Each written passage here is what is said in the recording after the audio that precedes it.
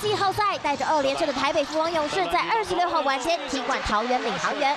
不想说再见的飞行部队打得够强势，第一节前半段先打出一波十三点六的攻势，但是对经验太丰富的勇士来说，这一点点威胁根本不算什么。毕竟他们有一位四十岁还是能宰制全场的野兽。这个传球相当到位，林志杰来了个 M one。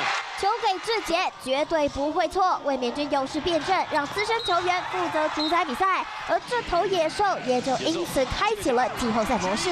不管你要说他宝刀未老，还是说他姜是老的辣，林志杰确定要在这场比赛大开杀戒。篮板球拨一下，林志杰再拿到，哨一响哎，很快哇，林志杰发出了他年少时期的怒吼！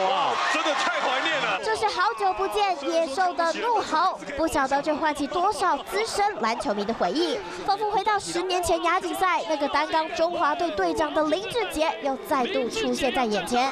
头发短了一点，实力却依旧完美。林志杰在上半场就轰下十八分，帮助勇士咬住微服领先。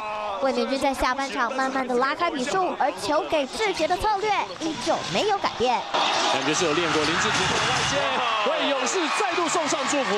林志杰上场三十四分钟，砍下全队最高的二十九分，外加十篮板的 double double，不止创下生涯季后赛最高得分，也帮助勇士以一百零一比八十九击败领航员。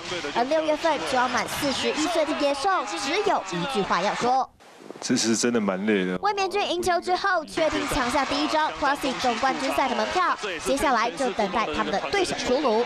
华新闻林秋伟报道。晚间九点，邀请您与世界同步，六十分钟掌握全球脉动。World News Nine 陈亚玲世界晚报给您崭新视野。